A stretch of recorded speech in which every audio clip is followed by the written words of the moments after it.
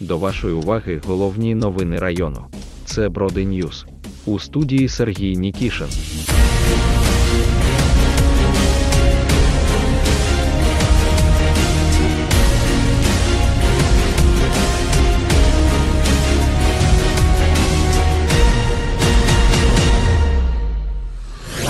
Мої вітання шановним телеглядачам. Традиційно у цій порі ми продовжуємо вас інформувати. Я закликаю сканувати свої приставки Т2, аби бачити нас не лише у місті Броди, а й по селах і сусідніх територіальних громадах, а також підписуватися на YouTube канал Броди Онлайн. Сьогодні у кримінальному випуску дізнаєтеся про таке ухилення від мобілізації, як судять журналіста. Суд проти Івана Балея, у чому обвинувачують сина Бродівського міського голови. Запакували на ВЛК, як у бродах примусово доставляють до ТЦК. Про це та інші новини далі у випуску. Сьогодні минає рівно три роки з моменту, коли мене побили у кулебі і відібрали телевізійну камеру із супутнім обладнанням, яким було крайнє судове засідання у Бузьку. Дивіться далі. Продовжили розгляд кримінального провадження за обвинуваченням підприємця Івана Белея, який у 2021 році скоїв напад на журналіста нашого телеканалу Сергія Нікішина. З цього часу судові засідання не завершилися. Суд триває. Іван Белей своєї вини не визнає. Цього разу допитували у якості свідка Віталія Кравчука. Вони пройшли на задню частину двору, е, від от, які мошений бруківкою, зупинилися і очікували прибуття Білея. Білей прибув десь через хвилин 5. Е, його покликнув Фадіїв такими словами, що обличчя Анатолійовича з о, даного заднього двору, з кухні, скажімо, цього там потенціальні рахунки, я розумію. Напевне, я не буду стверджувати. Вийшли 5 осіб, чотири наблизилися до нас. З трьох був Фадіїв, Білей, Іван, е, його брат Білей і Жовнович. Так прийшли до нас. Скажіть наступне, коли прийшов Белей, ви в своїх попередніх показах у попередньому засіданні говорили, що Нікішин представився всім, хто прийшли. Ви це, Так. це ви це підтверджуєте? Так, Нікішин представився всім. Нікішин представився всім, хто прийшли, що є журналістом телеканалу Броди онлайн. І хоча є аудіозапис, де чути, як Сергій Нікішин представився журналістом телеканалу Броди Онлайн, адвокат Івана Балея В'ячеслав Мисак намагається довести те, що нібито сам Сергій у момент побиття не був як журналіст, а як приватна особа. Скажіть, будь ласка, скільки людей до вас підійшло, ви можете сказати? До мене підійшло, Ну, коли ми стояли з Нікішином, стояли Ольгою і мною, четверо, ос- четверо осіб. Четверо осіб. Хто це був, скажіть? Жовнович, Фадіїв, Білей Андрій і Білей Іван. Так, Білей Іван був посередині між ними. так.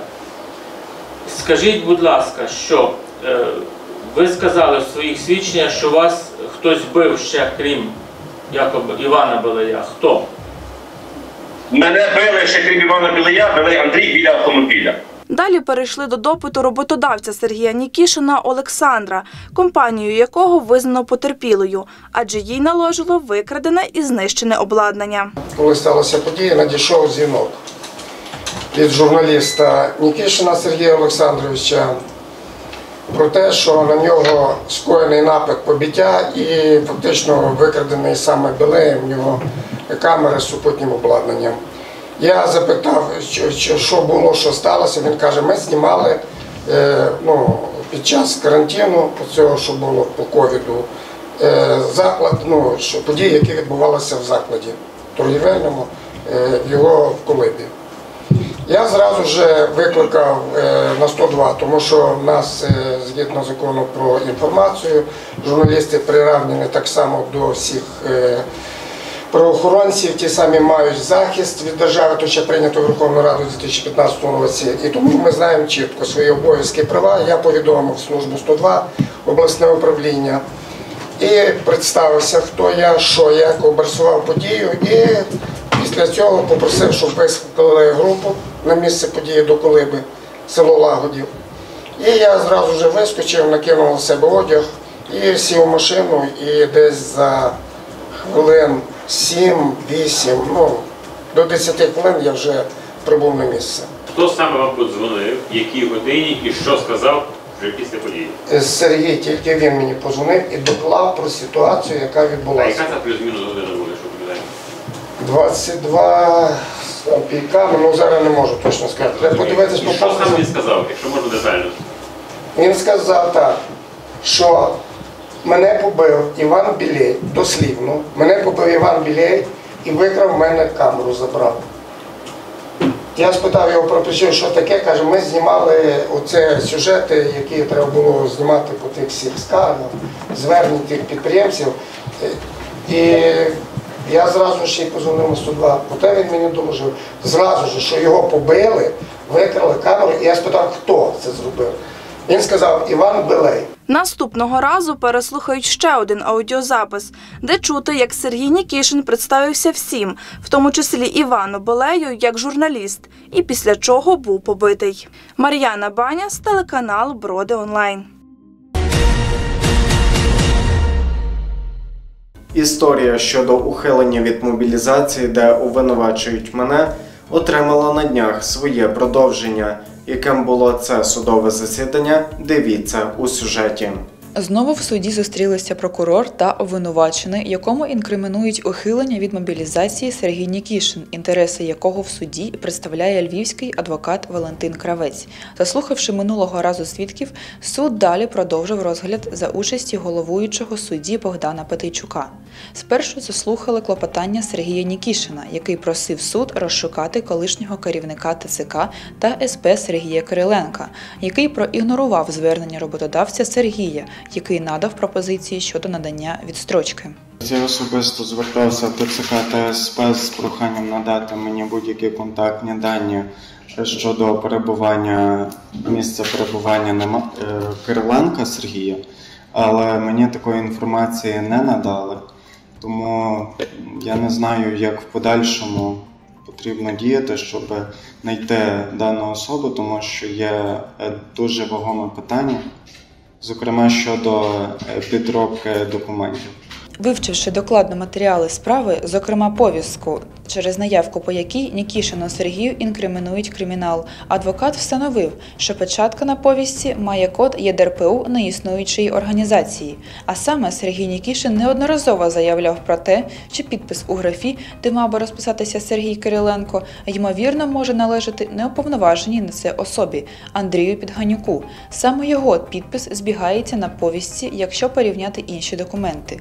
А це автоматично може означати, що у ТЦК та СП підробили документ під виглядом повістка. Ми не можемо знайти особу. Кириленко, значить, два свідка, яких, е, е, про яких ви заявляли. Це колишній, так, я розумію, звичайно, ТЦК Кириленко Сергій і Так. е, І попередній перед Кириленко нема школи Роман. не мешкав. Так, Два свідки. Ви на їхньому допиті настоюєте? Так, ваша честь. Я наполягаю і також просив би, бо в мене є повторне таке е, клопотання викликати е, слідчого Голійгродського, тому що в матеріалах справи є два документи, які категорично суперечать один одному. Про виклик слідчого Андрія Гуляй-Гроцького і дільничої офіцерки поліції Наталії Шелест буде стояти питання ще не один раз. І у мене є до, зокрема, до слідчого питання, на підставі чого він взагалі розпочав кримінальне провадження. Це в ході е, судового засідання. питання заявляли, ми вже його розглядали, відмовилися повністю цього ж клопотання. Можливо, коли я надам е, ще одні документи, е, які мають розбіжності, все-таки буде можливість е, викликати слідчого.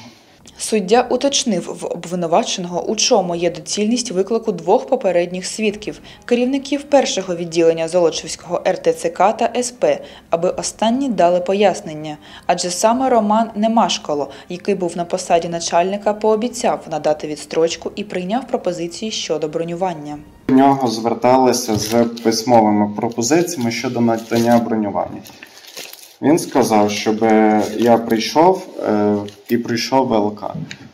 Тобто, нехай людина підтвердить, що я звертався е, з пропозицією, щоб я був заброньований. Ну, і якщо це буде підтверджено, на що воно впливає? Воно впливає на те, що я е, мав підстави для бронювання. Висловив свою позицію щодо доцільності виклику двох свідків, які породили підстави для відкриття кримінального провадження, і адвокат Сергія Валентин Кравець. Перше ніж вручити повістку, цей самий Немешкало мав видати відповідне розпорядження. Тобто це самодіяльність якихось людей, які там товклися по тому е, ТЦК. Невідомі люди, не, е, поки не з'ясували, хто його вручив. І це тягне потім за собою незаконність самої повістки. Ну, е, ще ми маємо зробити попереднє зауваження, що незаконність чи законність взагалі існування такої організації, як ПЦ ТЦК. Воно ж ніде не зареєстровано, я думаю, ви це знаєте.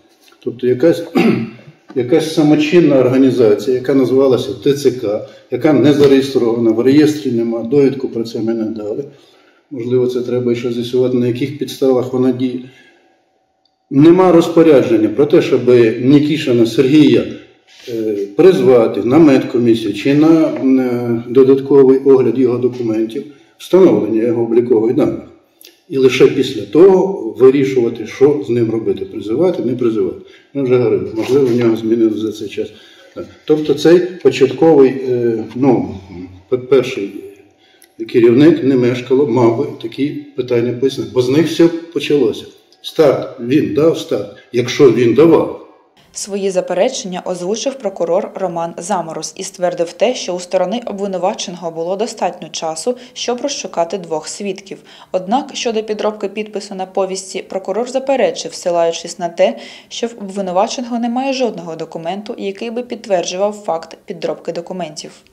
Щодо ваша честь підпису, щодо підозри на підробку підпису Кириленка, зазначу, що підпис на повістці був додатком до супровідного, який підписав знову ж таки Кириленко. І на даний час, наскільки мені відомо, жодних кримінальних проваджень про те, що було підроблено будь-який документ, а це, на мою думку, є офіційний документ, немає. А відтак стверджувати, що є якась підробка, коли особа сама скеровує після цього повістку, ну, досить дивно виглядає. Щодо не менш ваша честь, що такий має підтвердити підстави бронювання колись, зазначаю, що бронювання підтверджується і робиться на момент цієї події. Тобто і з того часу законодавство змінилося неодноразово. А відтак, що саме не менш вона має підтвердити, що в якомусь там 19 чи 15 році був Сергій Нікішин заброньований, рішення має прийматися, мало прийматися вже у під час військового стану у 2022 чи 2023 році. А відтак, що Немешко має нам повідомити, вже не будучи керівником е, військкомату, чи як там він правильно називався. А тому ваша честь е, прошу відмовити виклику вказаних свідків. Дозвольте я два слова відреагую, оскільки тут на мою адресу. Е, Ваш честь, обов'язок доведення винуватості чи невинуватості особи в кримінальному провадженні належить державі, в особі її органів, зокрема прокуратури і е, досудового слідства. Прокуратура затверджує, якщо неякісно зроблена робота, перепрошую, вони би мали з'ясувати. Є конкретні питання, є конкретно не, незаконно підроблена повістка. З неї все почалося. Почалося обвинувачення в кримінальному правопорушенні, за яке людині світить тюрма під час війни. Вони перекладають адвокат, його там не, не, не надав запит. Який адвокат? Ви повинні були провести слідство до суду. Клопотання про виклик свідків це ваше клопотання? Наше клопотання ми З'ясувати анкетні Ні. та бодай анкетні дані свідка, якого ви просите викликати, це чи, чи є повноваження? Ваша честь, ми діємо так, щоб це було з економії процесуальної, в тому числі. Ми не знаємо, як викликати, тому що ходив мій підзахисний, він отут, в тому ТЦК, в Бородах безпосередньо. Йому не дають таку інформацію, незважаючи на те, що справа. Це мало би зробити досудове слідство за затвердженим обвинувальним актом прокурора. Якщо вони неякісно зробили свою роботу, то не треба перекладати на адвокатуру ці питання. Адвокат має Так. захищатись. От я захищаюсь таким способом, що я вказую на недоліки обвинувачення. Тим більше ваша честь наголошує на тому, коли мене допитували в якості свідка е, слідчий Гулій Гроцький, я неодноразово вказував, е, просив е, притягнути на допит е, Кириленка і Немешкала. Слідчий е, даних осіб не викликав, е, їх не допитував. І в справі вони чомусь не фігурують. Але саме ці особи є е, творцями фактично оцього всього кримінального провадження. Суд задовольнив частково клопотання про виклик свідка Сергія Кириленка, який написав заяву у поліцію на Сергія Нікішина. Щодо виклику Романа Немашкала, який був на посаді керівника ТЦК, поки залишили відкритим. Також до матеріалів справи було долучено повістку на відправку Сергія Нікішина, яка була вручена ще у 2022 році. Е, Ваша честь, е, це є повістка на відправку, е, яка була вручена мені 1 вересня 2022 року. Я, отримавши цю повістку на відправку, протягом 24 годин з'явився ще е, тоді в ТЦК, і де на звороті є відмітка, що я прибув і вибув. Е, Тобто даний, е, дана копія е, повістки ст- підтверджує фактично те, що я е, не ухилявся і не маю наміру ухилятися. У винувальному акті е, мене обвинувачують в умисному ухиленні від військової служби під час мобілізації.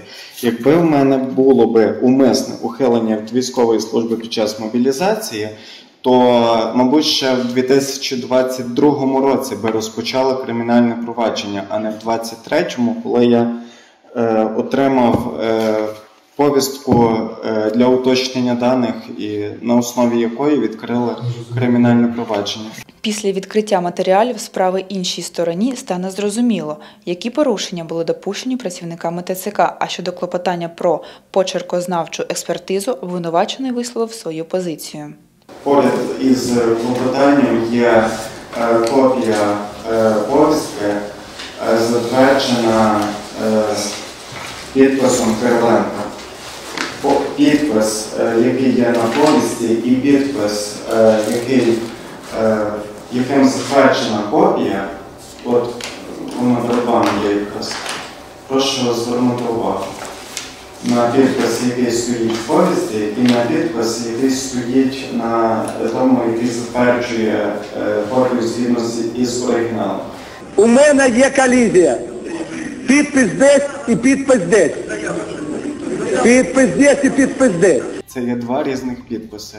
І твердження прокурора, що це е, підпис однієї тієї ж самої особи, е, ну він не є, не має ніякого підґрунтя взагалі. Далі перейшли до допиту обвинуваченого Сергія Нікішина, який роз'яснив суду і прокурору, чому вважає, що не ухилявся від мобілізації. З 2019 року я, окрім цього, що працюю журналістом, телеоператором на телеканалі Броди Онлайн, я ще працюю в оператора комунікацій е, фізичної особи підприємця е, Нікішина Олександра, який забезпечує зв'язком е, усі військові частини, той самий РТЦК та СП, податкові банки, особливо в час воєнного стану, що є надважливим. Вперше е, 8 квітня 2022 року, посилаючись на лист е, головнокомандувача Збройних сил України, е, ми подали пропозиції щодо е, бронювання, щодо надання відстрочки. Е, Цей, це повідомлення було прийняте. Ми мали відповідну відстрочку е, півроку. Е, Потім, коли вийшов час, ми вкотре звернулися. Керівник, е, мій роботодавець, вкотре звернувся до ТЦК, коли був Роман Немашколо на посаді е, керівника ТЦК. Е, Той теж прийняв пропозиції щодо бронювання військовозобов'язаних зі списками. Вони були прийняті. Натомість е, Немашколо сказав, що аби е, отримати мені відстрочку, бронюва... так зване бронювання, е, я повинен пройти для початку військово-лікарську комісію. Я добровільно пройшов військово-лікарську комісію. Е, Поки проходив комісію, поки хірург мені давав скерування на додаткове обстеження, помінявся е, начальник ТЦК ТСП. Був Немашкало, став Сергій Кириленко. Коли я до Сергія Кириленка звернувся е, з проханням надати мені е, відстрочку, е, оскільки ми ще зверталися е, перед тим до Немешкала з пропозицією щодо бронювання. Він сказав, що я нікого не бронюю і поїдете е, на сонячне Закарпаття служити. Е, Після чого невідома особа в коридорі е, ТЦК, першого відділення е, ТЦК та СП, просто от дає і каже: на бере підписуй. Що підписувати?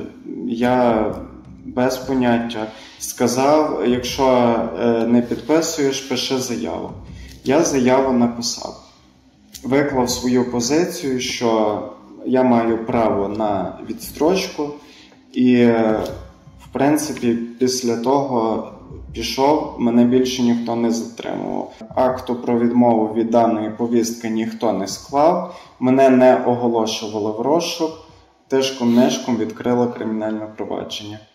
Після допиту Сергія Нікішина прокурор неодноразово запитував в обвинуваченого про документи, які підтверджували попереднє бронювання. Звертався мій роботодавець, надавши пропозиції щодо бронювання військовозобов'язаних, які були прийняті 22 грудня, коли Немешкало був на посаді начальника ТЦК. Він Вам відповідь на них надали?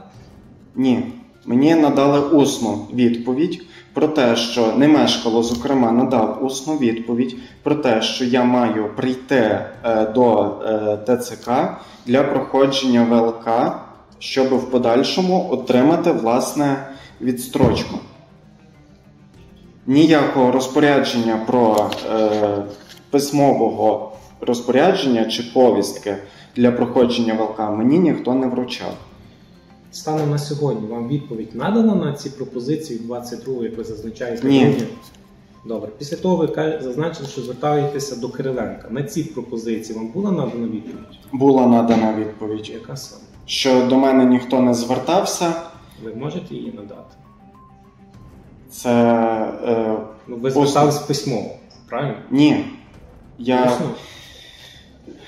22 грудня я просто хочу вам роз'яснити, щоб ви були в курсі, як це все відбувалося. 22 Дякую, я грудня. знаю, як це все відбувалося. Ви не знаєте. Два, Відповідайте ви не на знаєте. питання, ваш 22 грудня я маю право на захист. 22 грудня е, 2022 року е, ми звернулися до Немешкала з пропозиціями щодо бронювання. Ці пропозиції були прийняті.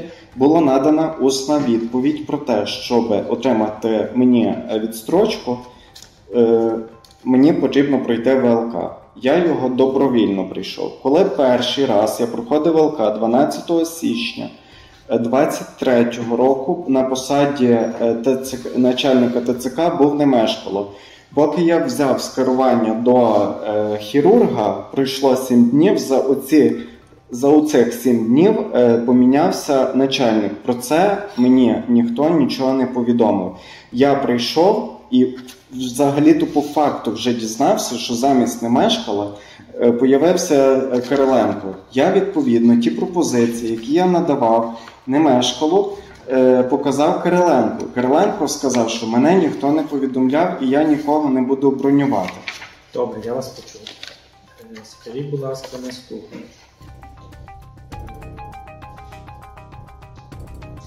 19 січня ви пишете заяву, яку е, зазначали, що я, якщо е, я її озвучу, я Нікішин Сергій Олександрович відмовляюся служити Збройних силах України в зв'язку з роботи на об'єкті критичної інфраструктури. Раніше я був заброньований, але для повторного бронювання потрібно було пройти недовго. Я правильно розумію, вказана заява була написана у зв'язку з тим, що у цей день вами була отримана повістка, Отримав повістку. яку вам, як ви зазначили, намагалися вручити. Вам намагалися в цей день вручити повістку. Намагалася якусь, якийсь документ вручити. Я не знаю, чи це була повістка. Сказали, якщо ти не береш, е, якщо ти не береш повістку, бери пиши заяву. Натомість в обвинувальному акті чомусь Відповідайте, будь ласка, на питання. Вказано, як ви зазначаєте, вам намагалися якийсь документ вручити. Унизу вказаного документа зазначено. Схожий почерк, як у заяві, про те, що прибувати відмовляюсь у зв'язку з вище наведеним у заяві своєї позиції. Так. То все-таки ви ознайомилися з вказаним документом, оскільки тут зазначено прибувати відмовляюсь. Та щось я заперечую. Тільки що він сказав, що він не знає, які документи. Знову. Заперечення. Ви зазначаєте, що написали прибувати відмовляюсь. То все-таки ви ознайомились з вказаним з містом змістом тільки що вказаного сказав, що документу? вже не знайомий. Не сказав. Будь ласка, давайте. Ні. Зокрема, в матеріалах справи присутня заява Сергія Нікішина, якою він зазначає, що працює на об'єкті критичної інфраструктури. Однак акту про відмову від повістки немає і вже не буде. Скажіть, будь ласка, на вказаній заяві, оголошеному мною змістом, яка була досліджена судом, ваш підпис? Мій. Добре. Ви зазначили, що вказана заява вам була кимось надиктована. Ким саме? Невідомою особою, яка мені не представилася, а в обвинувальному акті нап- написано, що я звернувся з письмовою заявою. Знаєте, звертатися з письмовою заявою це коли я добровільно написав заяву і ось прошу її зареєструвати. А коли мені її надиктовують під примусом і кажуть, пиши, бо ми тебе не випустимо, то зовсім інше. Розумієте? Відповідайте, будь ласка, Я відповідаю на питання. Також прокурор запитав, чи відноситься організація, де працює Сергій Нікішин, до об'єкту критичної інфраструктури. Обвинувачений зіслався на лист головнокомандувача Валерія Залужного. Там був перелік е, підприємств, які відносяться до об'єкту критичної інфраструктури. Серед них є і телебачення, а також і зв'язок. Зокрема, питання по суті справи задав обвинуваченому його адвокат. Ви безпосередньо не мешкали, е, обіцяли, що ви будете уникати, ухилятися від служби. Ні, я запитав навпаки, коли можна пройти ВЛК. Він мені сказав 12 числа, але він це сказав без повістки для, для проходження ВЛК. Це було усно сказано.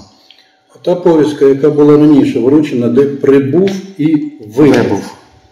Як ви розуміли це, що вибув? Тобто вам не, не, не, не, зобов'язали знову значить, прийти на якийсь, на якийсь виклик. Що означало оце, оця повістка? От ви прибули і у вас суддя питав, прибув вибув. Що, Мені як ви розуміли оце вибув? Ми звернулися з листом щодо надання відстрочки. Мені е, якби у відповідь на е, це повідомлення наше надали е, повістку на відправку. Я з тою повісткою протягом 24 годин прийшов в ТЦК. Мені там поставили штамп прибув 02.09.22 і паралельно з тим вибув. Тобто, якби я був військовозобов'язаним і прилягав би е, призов, на призов по мобілізації, то мене мало би ще мобілізувати е, в 22-му році, в вересні, коли я отримав е, повістку на відправку. Оскільки я, отримавши оцю повістку на відправку, е, по ній прибув і вибув той самий день, це було е, підставою, фактично підтвердженням того, що я мав е, і маю в подальшому право на відстрочку, оскільки працюю на об'єкті критичної інфраструктури. Адже ми навіть той самий ТЦК е, забезпечуємо е, безперебійним зв'язком. Також Валентин Кравець уточнив Сергія Нікішина, хто саме йому намагався вручити повістку для уточнення даних. Так все-таки хто, як його от можете його якось дізнатись зараз, хто він, ну що за людина там ходила? Тож не може ходити якась Ну, ви допитували свідка Підганюка, і я бачу. Це точно був не підганюк. Це не Підганюк? Ні, це не підганюк, якийсь худий. Ну, підганюк не є худий, вибачте, це можливо це некоректно з мого боку, але наскільки я пам'ятаю, Ну, особа. Ви Ні. його бачили в Так, так, це не був він. Це не був підганюк. А по- підпис підганюка стоїть. Дякую, нема більше. Наступного судового засідання буде встановлено, кому належить даний підпис, і можливо визнання підробки документів взагалі скасує всі обвинувачення, і буде багато питань до Андрія Підганюка. Він, до речі, ствердив підганюк, е, даючи покази під присягою, ваша честь, я на цьому наголошую, що саме підганюк ствердив, що дану повістку, яка є в матеріалах справи, він її не підписував. Я надав рапорт, е, підписаний Підганюком, на якому стоїть ідентичний підпис, е, той, що на повістці. І хоча були відправлені неодноразові запити щодо бронювання в Львівську обласну військову адміністрацію, відповіді від пана Козицького так і не дочекалися.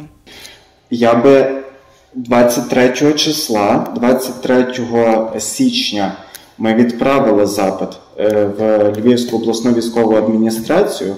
Натомість Кириленко чомусь не надав мені хоча б, ну я не знаю, там два місяці відтермінування, допоки велася оця переписка з Львівською обласною військовою адміністрацією. Головуючого судді виникло питання щодо заяви, яку писав після спроби вручення повістки Сергій Нікішин, і ще декілька уточнюючих питань. Е, Таку заяву вас відбирав хто? Ви бачите стоїть зверху резолюція Підганюка. Ви йому особисто давали? Ні, не під Ганюко.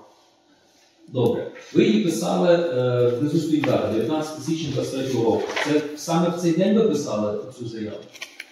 Ну, Ваша честь, я, я прошу вибачення, оскільки я, в мене немає тут заяви, я бачу тут ну, це е, ми її досліджували. заява. Е, ваша честь, е, я ваша хочу вас поправити підпис не під Ганюка, не резолюція під Ганюка, а Кириленка. Ні, ні, ні, це підпис е, внизу Кириленко, зверху це. Кириленка так, також. Підганюк.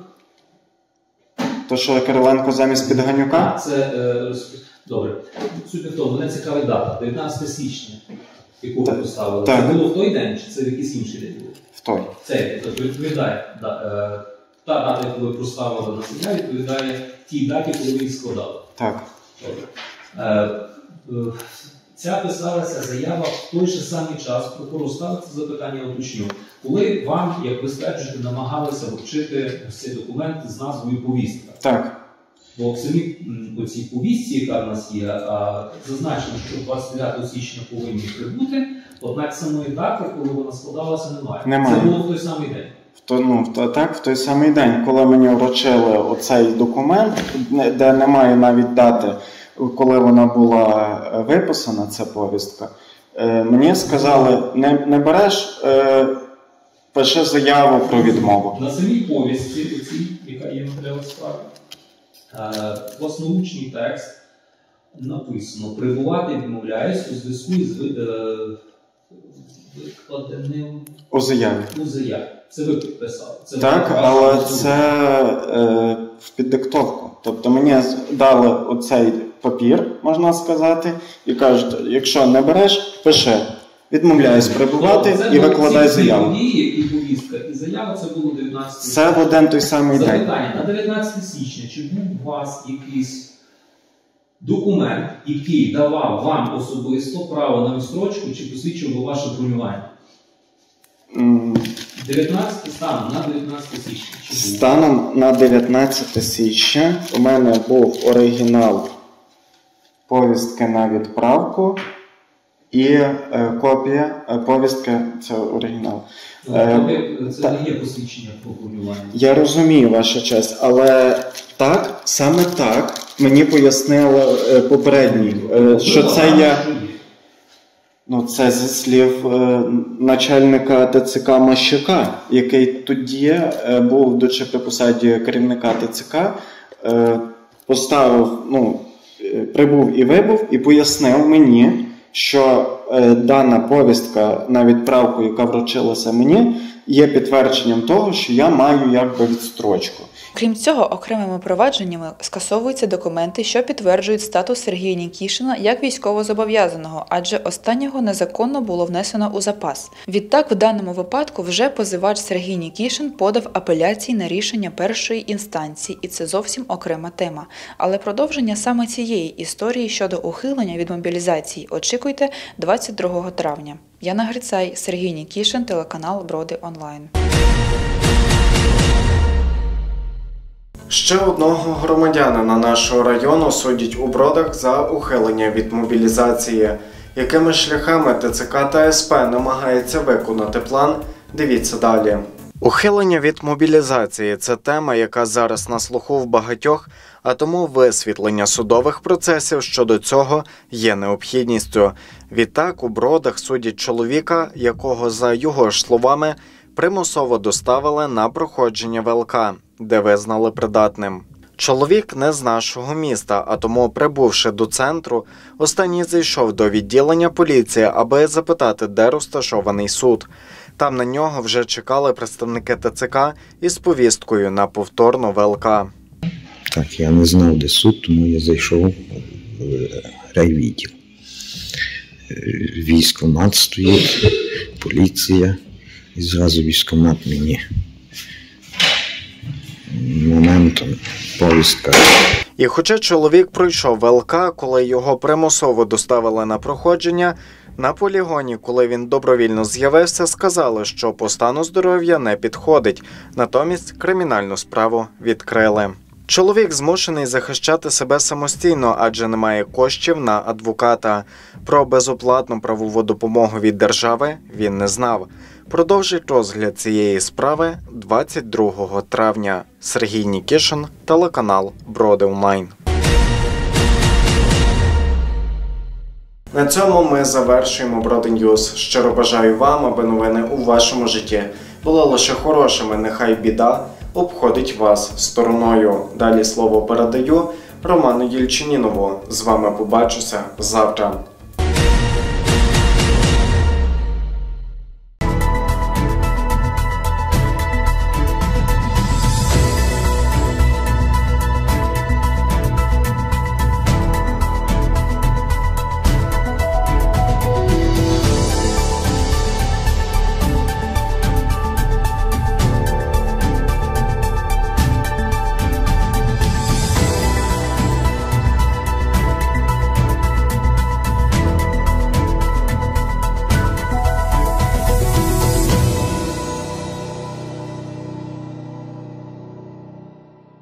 Вітання всім телеглядачам, бродівчанам та жителям сусідніх територіальних громад. Ми продовжуємо вас інформувати про події, що відбуваються навколо, та не увійшли до основного випуску новин.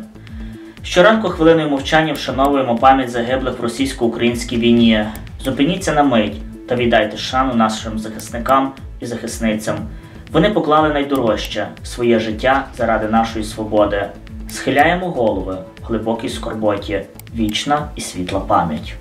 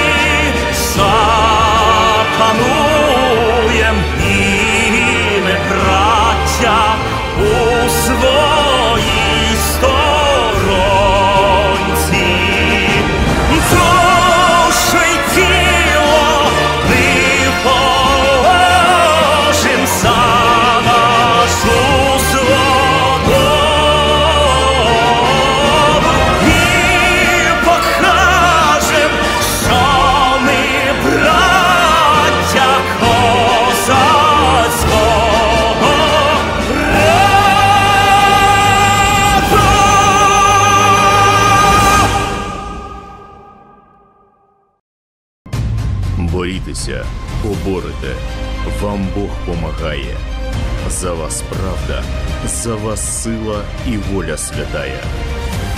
Тарас Григорович Шевченко. На Дубинщині рятувальники надали оперативну допомогу в ліквідації наслідків дорожньо-транспортної пригоди. 21 квітня на спецлінію 101 рятувальники надійшло повідомлення про дорожньо-транспортну пригоду на автодорозі Київ-Чоп поблизу села Тараканів Дубинського району. Вогнеборці, що прибули на місце, побачили, що ДТП виникло за участі двох легкових автомобілів Toyota і Volkswagen Transporter T5.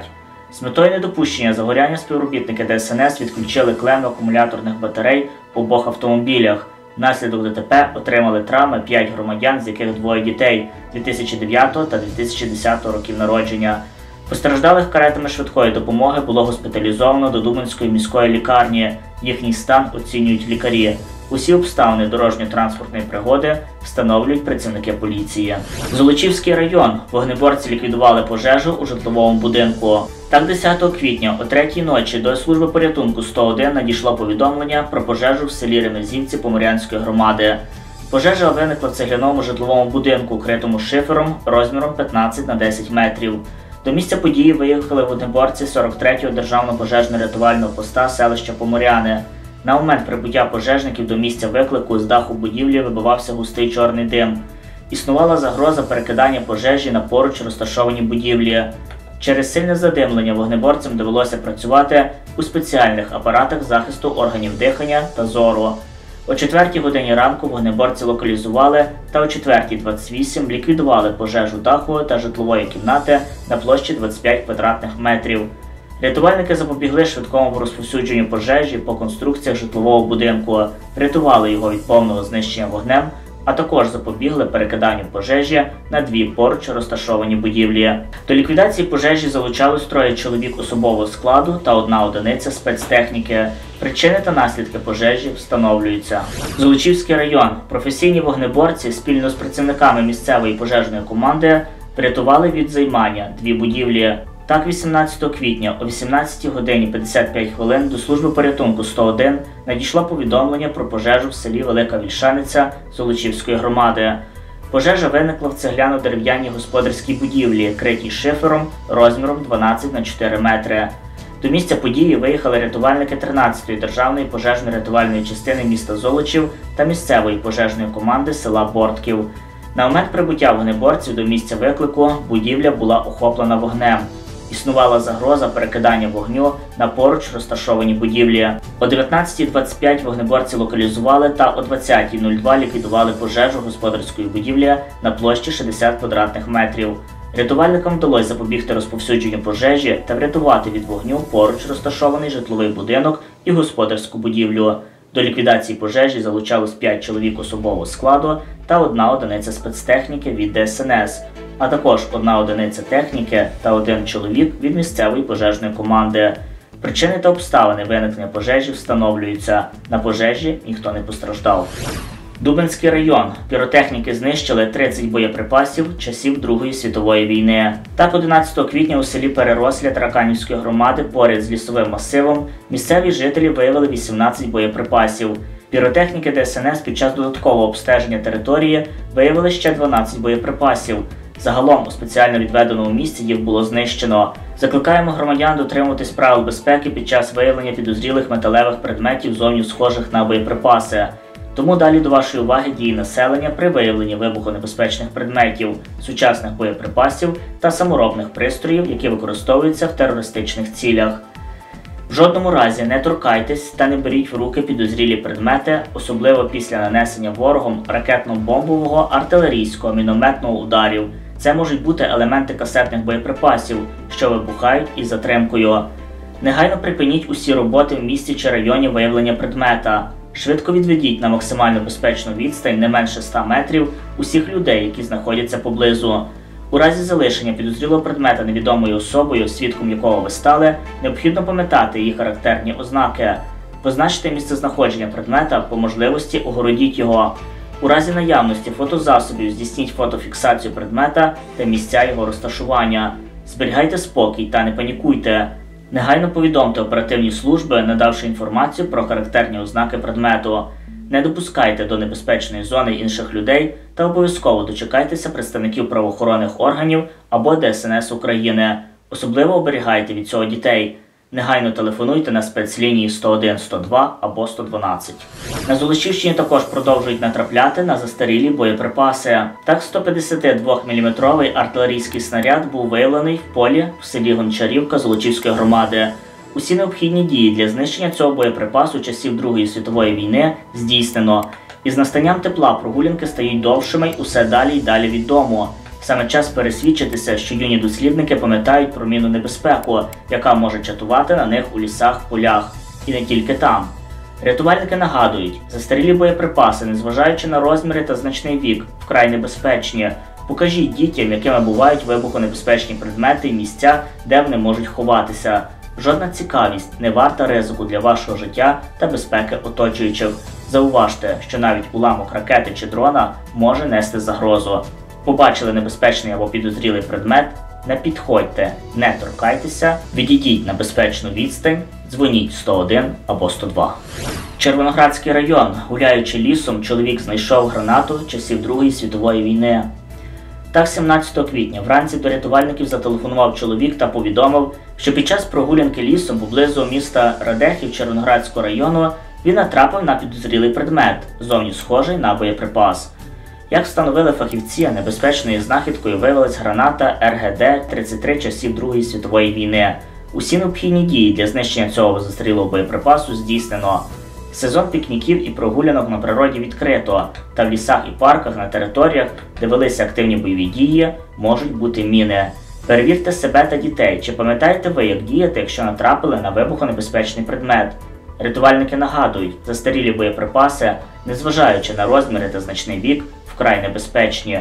Жодна цікавість не варта ризику для вашого життя та безпеки оточуючих. Побачили небезпечний підозрілий предмет, не підходьте, не торкайтеся, відійдіть на безпечну відстань, дзвоніть 101 або 102. Щороку з настанням весняно-літнього пожежонебезпечного періоду рятувальники проводять комплекс заходів щодо запобігання пожежам у природних екосистемах та продовжують важливу профілактичну роботу щодо попередження пожеж та надзвичайних ситуацій. Так рятувальники з Золочівщини, Дубинщини та Радехівщини навчають населення району правил пожежної безпеки. З 11 по 25 квітня Дубинські, Бродівські та Чорноградські рятувальники проводили пожежно-профілактичні відпрацювання житлових секторів на території Радивилівської, Лопатинської, Бродівської і Радехівської громад. Зокрема, інспекторським складом Червоноградського районного управління головного управління ДСНС України у Львівській області спільно із старостами Оглядівського округу Радехівської громади і Нивицького округу Лопатинської громади та пожежною дружиною села Нивиці проведено планове відпрацювання житлових секторів сіл Оглядів, Нивиці, Дубини, Трійця, Монастирок Оглядівський, Старий Майдан, Опліцько, Пустельники, Гута Скляна. Також з метою попередження пожеж, щоб пробудити свідомість якомога більшої кількості громадян, об'єднали зусилля співробітники лісництва та національної поліції провели рейд в місцях лісових насаджень. Під час проведення інформаційно-роз'ясувальної роботи у ході спілкування з громадянами надзвичайники розповідали про правила пожежної безпеки у побуті, чіткий алгоритм дій при виявленні вибухонебезпечних предметів. Проведено бесіду щодо порядку дій у разі виникнення пожежі. Також фахівці ДСНС вкотре нагадали громадянам про заборону спалювання сухої рослинності та про штрафні санкції за такі дії. Звернули увагу громадянам про дії в разі виявлення підозрілих та вибухонебезпечних предметів, правила відпочинку поблизу водойм і на самих місцевих водоймах, та про популяризацію розвитку місцевої і добровільної пожежної охорони серед населення та вступу мешканців до складу підрозділів ДПО громад за місцем свого проживання. Також рятувальники провели бесіди з громадянами щодо важливості дотримання основних вимог і правил пожежної безпеки у побуті та лісовій місцевості і роз'яснили чіткий алгоритм дій під час виявлення пожеж в екосистемах та у разі виявлення вибухонебезпечних предметів. Наголосили на необхідності дотримання безпеки життєдіяльності у весняно-літньому періоді, зокрема нагадали правила користування газовими і електроприладами. Для кращого засвоєння наданої інформації співрозмовники отримали тематично-агітаційні масові пам'ятки. Можна зазначити, що у більшості винуватцями надзвичайних подій є самі люди, які поводяться необережно із вогнем та нехтують правилами пожежної безпеки. Отож, за самовільне спалювання сухої трави, опалого листя та інших рослинних залишків, що заборонене в Україні, громадянам загрожує штраф. Також під час профілактичних рейдів рятувальники роз'яснили небезпеку пожеж на відкритих територіях та наголосили на забороні і відповідальності за спалювання сухої рослинності, трави та сміття на присадибних ділянках згідно з чинним законодавством. Нагадаємо, за спалювання сухої трави, опалого листя та інших рослинних залишків, що заборонене в Україні, громадянам загрожує штраф у розмірі від 3060 до 6120 гривень. За ті ж дії, вчинені на природоохоронних територіях, поліям загрожує штраф у розмірі від 6120 до 12240 гривень. І також рятувальники наголосили на необхідності дотримання правил безпеки при використанні різних видів генераторів та акумуляторів, основних застережних заходах розведення відкритого вогню, особливо поруч із господарчими будівлями або в лісовій місцевості, на територіях, де можуть виникнути торфяні пожежі, а також під час відпочинку біля водойм на їхній території. Не менш важливо було підкреслити недоцільність спалювання сухої рослинності та безпечна поведінка під час відпочинку на природі, особливо в лісових масивах. Зазначимо, що більшість надзвичайних ситуацій спричинюють саме люди. Зазначимо, що більшість надзвичайних ситуацій спричинюються саме людьми, які необережно поводяться з вогнем та нехтують правилами безпеки. Вкотре закликаємо громадян бути відповідальними та дотримуватись правил пожежної безпеки у побуті. Отож, щоб запобігти виникненню пожежі у власному помешканні, дотримуйтесь наступних правил безпеки: не перевантажуйте електромережу, не залишайте без нагляду вімкнені кухонні плити, тостери, мікрохвильові печі, а сірники, свічки та запальнички зберігайте у недоступних для дітей місцях і не паліть у ліжку. Нехтування правилами пожежної безпеки може привести до трагічних наслідків. Якщо стали свідками підпалів, повідомляйте поліцію чи представників влади. Тільки дотримання правил пожежної безпеки дозволить надійно захистити вас і ваш будинок від пожежі. Пам'ятайте, що наша безпека залежить від нас з вами.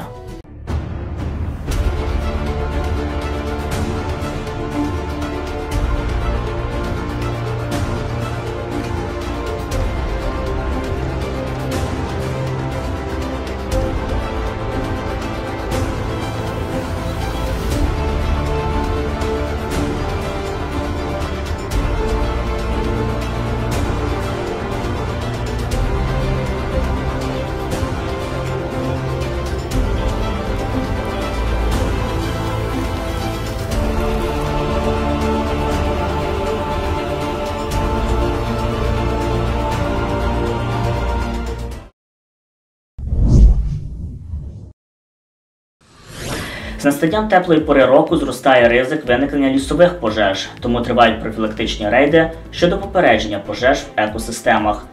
Рятувальники Дубинщини щоденно обстежують територію на наявність загорянь сухостою за допомогою квадрокоптерів, що допомагає виявити пожежу на ранній стадії її виникнення та закликають мешканців області запобігти пожежам у природних екосистемах.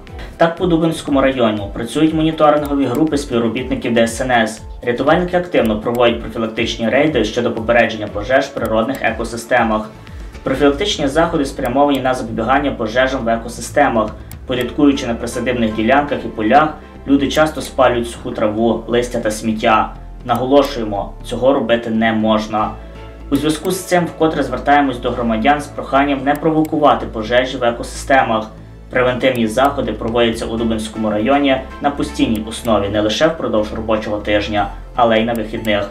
Для моніторингу стану пожежної безпеки залучені безпілотні літальні апарати квадрокоптери. Найчастіше виною у виникненні пожеж в природних екосистемах є саме людина. Тому вкотре хочемо наголосити на забороні спалювання сухої рослинності та сміття, адже за подібні дії передбачена як адміністративна, так і кримінальна відповідальність.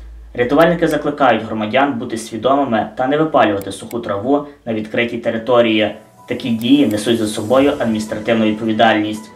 За спалювання трави та листя адміністративна відповідальність і штраф від 3060 гривень до 6120 гривень. За порушення пожежної безпеки в лісі адміністративна відповідальність і штраф від 1530 гривень до 4590 гривень. Тільки минулого року рятувальники ДСНС ліквідували 9615 пожеж, що завдали непоправної шкоди екосистемі та людям. А з початку року на території Рівненської області вже трапилося 120 пожеж залишків сухої рослинності та сміття на відкритій території загальною площею 44,6 гектарів. Пожежі в екосистемах небезпечні і мають серйозні наслідки для навколишнього середовища, тваринного світу та здоров'я людей. На жаль, більшість таких займань виникає через людську недбалість та порушення заходів пожежної безпеки. Це штрафи, які згідно законодавства накладаються на порушників за спалювання сухостою, що призводить до знищення рослин, лісів і забруднення атмосферного повітря. Нагадуємо, що за самовільне спалювання сухої рослинності або її залишків відповідно до статті 77.1 Кодексу України про адміністративні правопорушення передбачена адміністративна відповідальність у вигляді накладання штрафу. Тому почнемо формувати свою свідомість та культуру ставлення до навколишнього середовища з себе.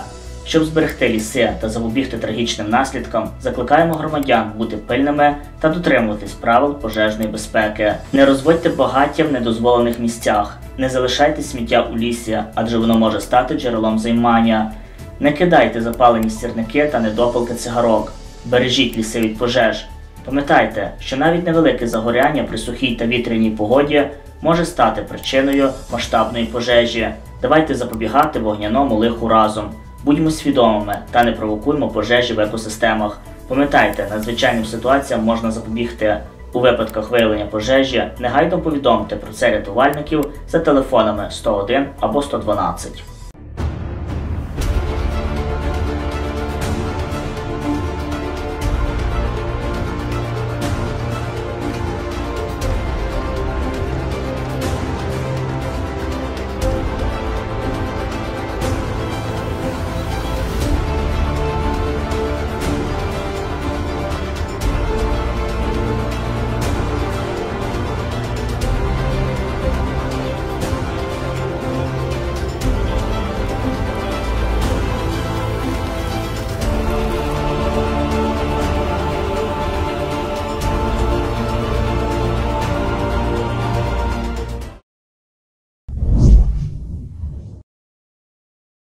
Отож бережіть себе та своїх близьких. Вічна пам'ять героям України. Перемога обов'язково буде за нами, за Україною.